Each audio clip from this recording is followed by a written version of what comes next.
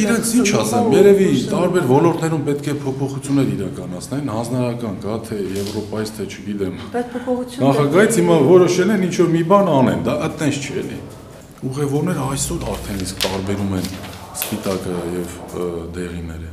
իրարից։ Հետագայում այդ ամեն ինչը ես դրա մեր եմ ասում, կամավոր թողեք, տեսնենք հետագայում ինչ դուրս կգա։ Ուղևորներն ինչ կասեն, ինչ չեն ասի։ Գնային առումով չէ, 100 դրամն է դա։ Ոնց կարող են 100 դրամից ավելացնել։ Ժողովուրդը կբողոքեն, չէ։ Ժողովուրդը աղքատ են։ Չի կարելի ոչ թանկացնել ավտոկայաններից պետք է սկսենք։